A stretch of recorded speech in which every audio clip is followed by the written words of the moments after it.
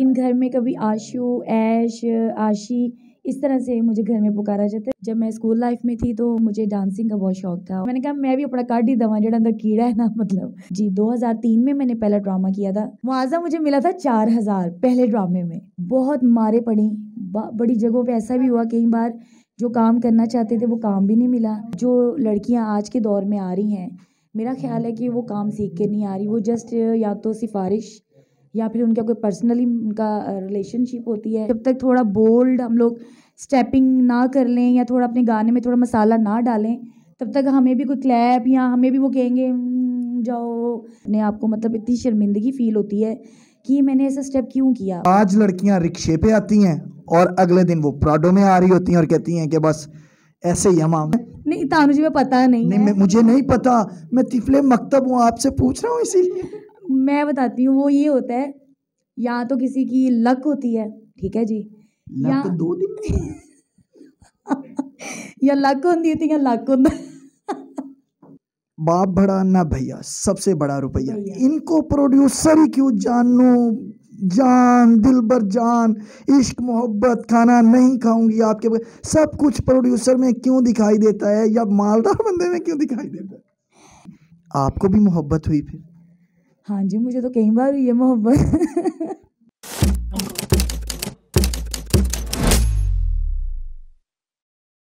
वालेकुम नाजरीन, मैं हूँ कुर्बान प्रिंस और आप देख रहे हैं हमारा फेसबुक और यूट्यूब चैनल नाजरीन, आज मेरे साथ पाकिस्तान थिएटर इंडस्ट्री का एक मशहूर नाम, एक खूबसूरत अदाकारा आशा चौधरी मौजूद हैं।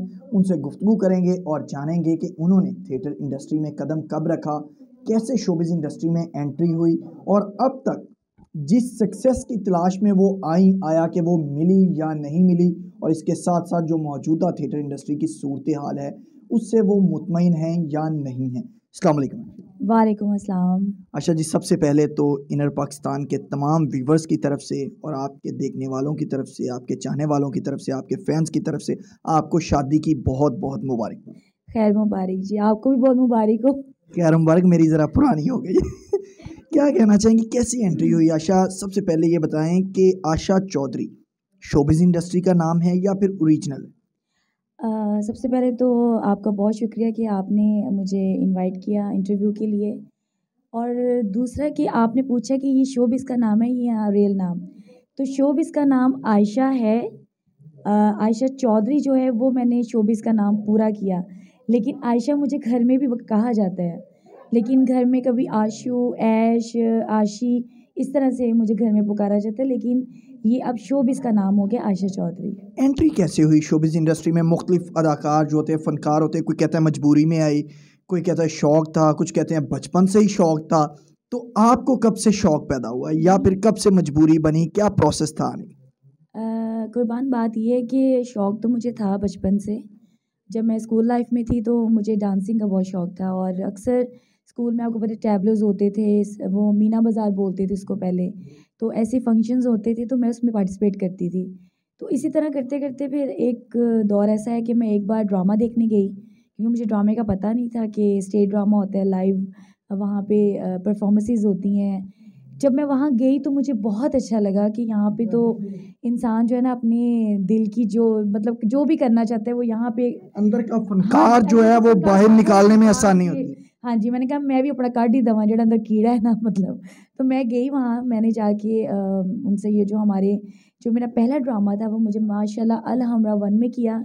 और मेरे लिए बड़ी जो है ये ऑनर की बात है कि पहला ड्रामा और अल हमरा से जहाँ से मोरे लगती हैं सबको पहला ड्रामा जब आपने अलहमरा में किया तब आपकी उम्र कितनी थी और मुआवजा कितना था? क्योंकि जो पहली इनकम होती है ना और जो पहला प्यार होता है वो इंसान को कभी नहीं भूलता।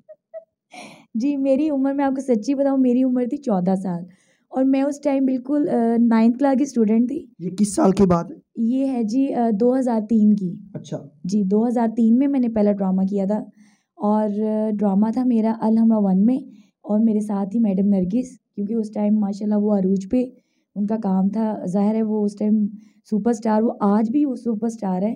लेकिन उस टाइम समझ लें कि हर तरफ़ नरगिस मैडम नरगिस मैडम नरगिस। तो मैं बिल्कुल छोटी सी और मैंने दो पोनियाँ की हुई और मैंने पहला रोल किया कमेटियाँ खाने वाली जो लड़कियाँ होती हैं ना वो।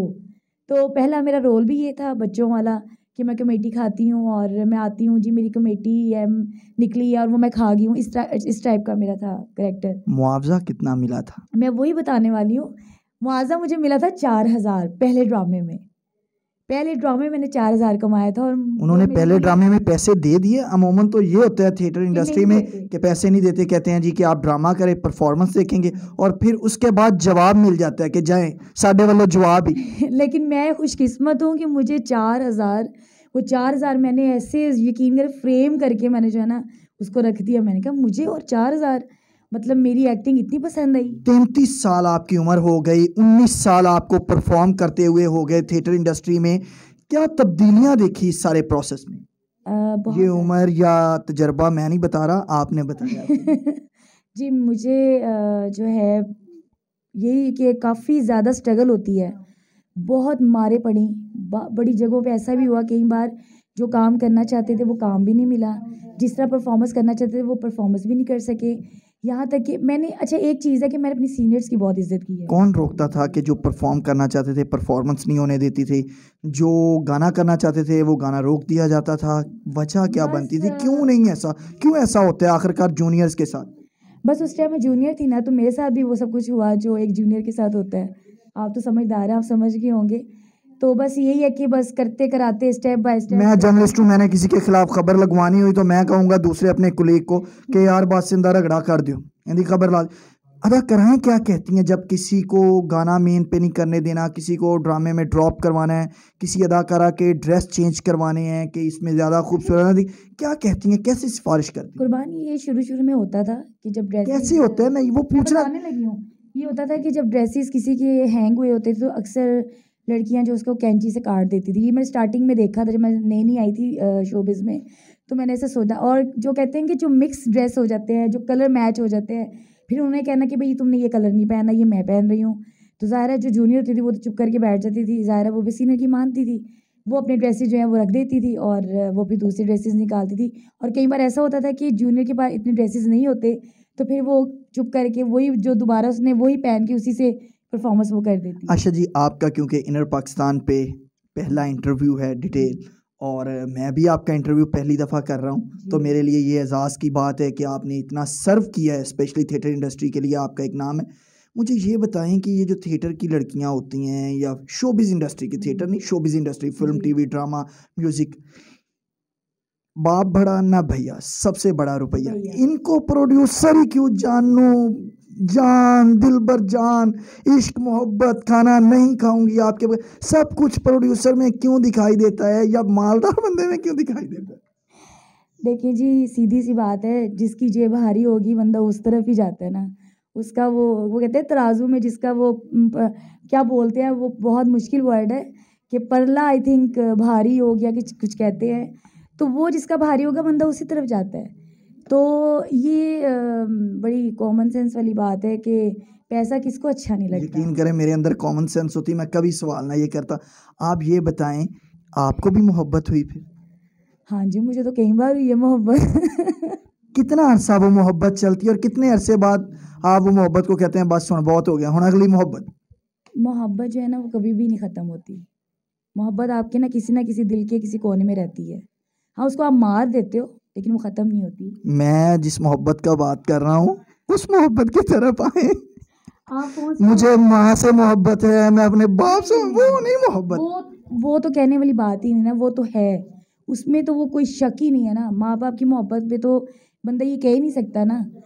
मोहब्बत जो है ना आप जो पूछे मैं उसकी बात कर रही हूँ कि किसी लड़के से मोहब्बत होना किसी लड़की से मोहब्बत होना या किसी आर्टिस्ट से आपको मोहब्बत हो जाना या किसी प्रोड्यूसर से हो जाना तो ना तो मुझे किसी प्रोड्यूसर से हुई है, ना ही मुझे किसी लड़की से हुई है, ना ही मुझे किसी फैंस या इस तरह हाँ मोहब्बत हुई है किसी लड़के किसी आम जो है वो शोबे से हट के था, जिससे मोहब्बत हुई थी।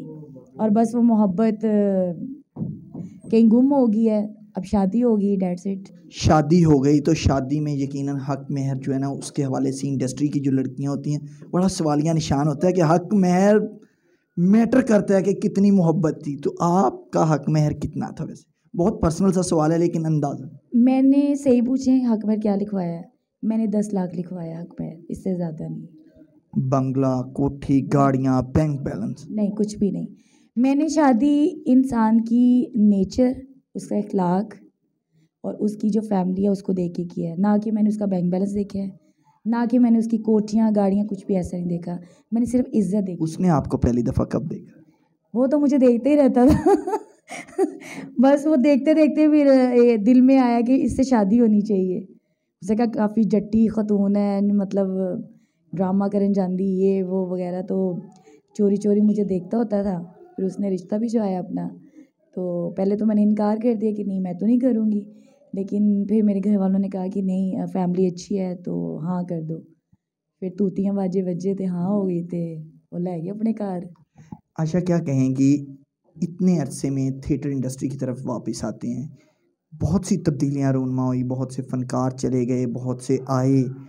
कितना स्क्रिप्ट से ड्रामा हट चुका है। जो ड्रामा आपने स्टार्ट किया था, चौदह साल की उम्र में आपने स्टार्ट किया, जब वो ड्रामा था कि एक चौदह साल की बच्ची जो अभी बालिग भी नहीं होती वो परफॉर्म कर रही है और फैमिलीज़ देखने आ रही हैं और आ, आज जो ड्रामा हो रहा है उसमें कितनी तब्दीली आ चुकी है? बहुत ज़्यादा तब्दीली आ चुकी है। पहले हम लोग महीना महीना रिहर्सल्स करते थे। हम लोगों को स्क्रिप्ट दिए जाते थे। हम घर जाके याद करते थे कि ये आपने लाइंस आपकी और आपने ये बोलनी है। अब ऐसा हो गया कि रिहर्सल्स एक दिन की होती है और अगले दिन ड्रामा होता है और हम उसी टाइम आके बस घंटे में ड्रामा तैयार करते हैं। और ड्रामा तैयार करके हम खुद भी इसमें गलत है। ये नहीं कि जो हमारे डायरेक्टर राइटर है वो, हम खुद इतने बिज़ी हो गए, अपनी लाइफ को इतना बिज़ी कर दिया कि हमारे पास टाइम ही नहीं है कि हम एक चीज़ जो हम कर रहे हैं, जिनसे हमारा नाम बना है, जिनसे हमारी पहचान है स्टेज मतलब स्टेज से मेरी पहचान है, मैं आशा चौधरी बनी और इसमें मेरी माँ की दुआएँ, अल्लाह ने मुझे इज़्ज़त दी, मैंने मेहनत की, मैंने क्लासिकल डांस किए मैंने आइटम्स की। और ये करके जब मेरा एक नाम बना स्टेज से और उसी को हम टाइम नहीं दे रहे, उसी पे आके हम लोग बिल्कुल आ रहे हैं और कोई इधर से जा रहा है, कोई इधर खाने खा रहा है, कोई हल्ला गुल्ला चल रहा है, कोई पार्टीज़ चल रही हैं, कोई ये हो रहा है मतलब कि प्रॉपर टाइम नहीं दे रहे। तो ज़ाहिर भी ड्रामे ऐसे ही होंगे। और जब मैं ड्रामे करती थी, तब बाकायदा रिहर्सल्स होती थी। सीनियर आर्टिस्ट सोहेल अहमद साहब के साथ काम किया, कवि खान साहब के साथ काम किया। और मैंने मस्ताना जी अल्लाह पाक उनको जन्नत में जगह ता फरमाए बब्बू बरार साहब अल्लाह उनको भी जन्नत में जगह ता फरमाए। इतने बड़े बड़े नाम जो इस दुनिया से चले गए आज भी वो मुझे याद है कि मैंने उनके साथ काम किया और मुझे फ़ख्र होता है। अच्छा कितना ज़रूरी है ड्रामे के अच्छे बिज़नेस के लिए कि लड़कियाँ आकर स्टेज पर गंदा डांस करें बेहुदा इशारे करें नाजेबा किस्म का लिबास पहने। पता क्या बात है? अब कुर्बान जो ट्रेंड हो गया है ना अब ये ट्रेंडिंग में आ गया है। कि मतलब आप जिसे भी देख लो इवन कि मैं ख़ुद भी थोड़ा बहुत जब तक थोड़ा बोल्ड हम लोग स्टेपिंग ना कर लें या थोड़ा अपने गाने में थोड़ा मसाला ना डालें तब तक हमें भी कोई क्लैप या हमें भी वो कहेंगे हम्म, जाओ। मतलब इस तरह की इशारेबाजी होना शुरू हो जाती है और अफसोस नहीं होता जब इस तरह के मतलब आप आइटम्स करते हैं जिस तरह आपने कहा कि हमें मजबूरी बन चुकी है ड्रामे की तो बाद में अफसोस नहीं होता कि मेरे क्रेडिट पे ये चीज़ है और मैं डिसक्रेडिट की तरफ़ जा रही हूँ। बहुत ज़्यादा अफसोस होता है कि कभी कभी मैं यकीन मानिए कि कभी कभी मैं इतनी शर्मनाक, अपने आप को मतलब इतनी शर्मिंदगी फ़ील होती है कि मैंने ऐसा स्टेप क्यों किया? मतलब उस वक्त तो हम कर लेंगे, वो जस्ट एक बड़ा क्या आ मज़े, ये, वो, इसमें तो हम लोग खुश हो जाते हैं कि भाई, बड़ी हमें अप्रिशिएट किया जा रहा है, बड़ा क्लैपिंग हो रही है, लेकिन बाद में वही लोग कहते हैं, यार, आए, उन्हें की किया सी इन्ना गंदा गाना, उन्हें की स्टेप कर लेता। जिस डगर पर डांस जा चुका है इसका फ्यूचर आप क्या देखती हैं? क्या फ्यूचर हो सकता है इसका? इसका फ्यूचर ये है कि इसको यहाँ तो बाकायदा तौर पे अकेडमीज हों, वहाँ पे इसका प्रॉपर जो है वहाँ पे आर्टिस्टों को सिखाया जाए, अच्छी परफॉर्मेंसेस सिखाई जाएँ, काम सिखाया जाए। अब जो लड़कियाँ आज के दौर में आ रही हैं, मेरा ख्याल है कि वो काम सीख के नहीं आ रही, वो जस्ट या तो सिफारिश या फिर उनका कोई पर्सनली उनका रिलेशनशिप होती है या उनको पीछे सपोर्ट होती है या वो पैसा लगाती हैं। ये तीन चार चीज़ें हैं, जो काम है, जो जो जेनवन काम है, जो हम लोगों ने किया है, हम लोगों ने धूप, सर्दी, गर्मी अपना दिन, रात हम लोगों ने एक करके तो हम यहाँ इस मुकाम पे पहुँचे हैं। और अब आके हमें कभी कभी ऐसा फील होता है कि यार हम इतना नाम बना के तो हम भी उन्हीं चीज़ों में शामिल हो गए हैं जो सब कर रहे हैं। कितना ज़रूरी होता है आखिरी सवाल आपसे? कि लड़कियाँ आती हैं दो चार ड्रामे करती हैं और उसके बाद गायब हो जाती हैं और पता चलता है जब मुलाकात होती है तो उनके पास तीन तीन चार चार गाड़ियाँ दो चार घर नौकर चाकर बल्ले बल्ले कमाल। कैसे हो जाता है सारा कुछ? आपको तो चार हज़ार रुपये मिला था ड्रामे का और आज लड़कियाँ रिक्शे पे आती हैं और अगले दिन वो प्राडो में आ रही होती हैं और कहती हैं कि बस ऐसे ही हम ये होती है ये होती है एकदम छलांग मारना ना।